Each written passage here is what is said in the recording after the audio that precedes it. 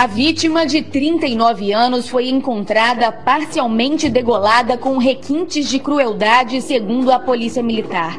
O corpo do homem estava na região do córrego São Roque, em Fervedouro. Segundo o boletim de ocorrência, antes do crime ser cometido, a vítima discutiu com outras quatro pessoas. Os suspeitos teriam colocado o homem à força dentro de um carro e seguido sentido a BR-116.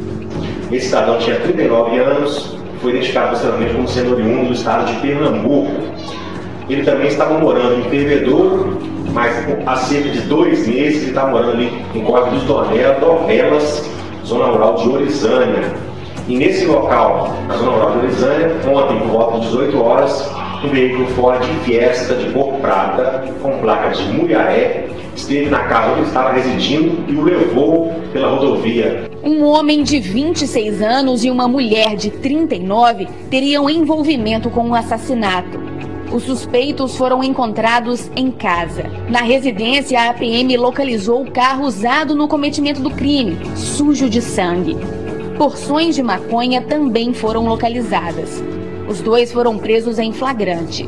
É necessário o apoio de três planejadores aí da cidade de Muriaé, lá da sede do batalhão de Muriaé, que deslocaram até a cidade de Fervedouro. A perícia foi feita no veículo e esse cidadão chegou a fugir e se esconder em casas vizinhas, sendo encontrado aí escondido embaixo da cama. E a gente tem que agradecer o empenho das pessoas também que colaboraram com denúncias e isso é importante aí para o serviço da Polícia Militar para a prestação de segurança pública aí na nossa região.